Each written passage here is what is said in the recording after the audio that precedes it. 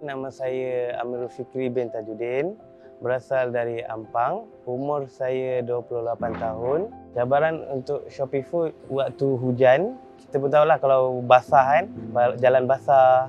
Phone pun tak boleh nak tengok. Kadang kalau kita berhenti kat tepi nak tengok handphone untuk check order, susah. Kalau ada masalah dekat situ lah. Itu adalah salah satu cabaran.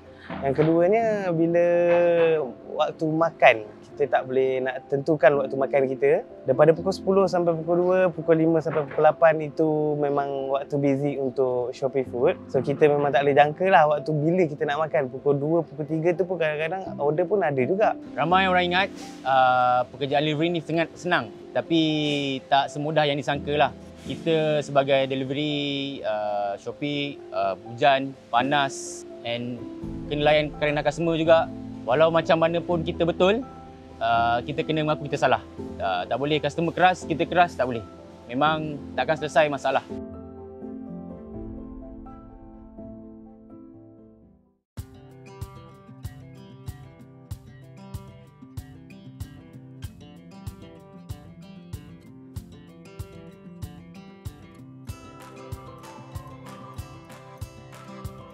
Food delivery riders represent a very important part to our economy today. With the current COVID pandemic situation, we've seen food delivery really grow and people adopting it. But we also see our food delivery riders really going through really hard times sometimes, you know, whether it's bad weather, whether it's heavy traffic. And we're just here to show them some love today, right? To show them that we really appreciate all the effort they put in every single day for every single Malaysian that they help deliver food to.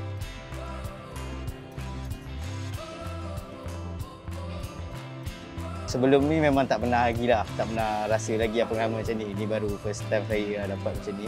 So saya rasa macam teruja juga. Terima kasih kepada yang memberi kad ni kepada saya dan hadiah yang ada. Dengan ucapan saya suka abang ni sebab dia laju dan pantas. Pada pemberi, saya ucapkan terima kasih banyak Shopee dan tim-tim yang lain.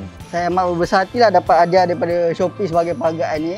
Dan tak juga dilupakan lah customer yang buat saya saya akan cuba baiki lagi butuh perkhidmatan saya. Alhamdulillah, terima kasih kepada yang mencalonkan saya. Saya rasa sangat teruja, sangat seronok lah dan terkejut sebenarnya. Uh, terima kasih Shopee kerana menghargai, menghargai kami. Dengan pemberian macam ni, uh, kami akan bekerja lebih keras untuk. Shopee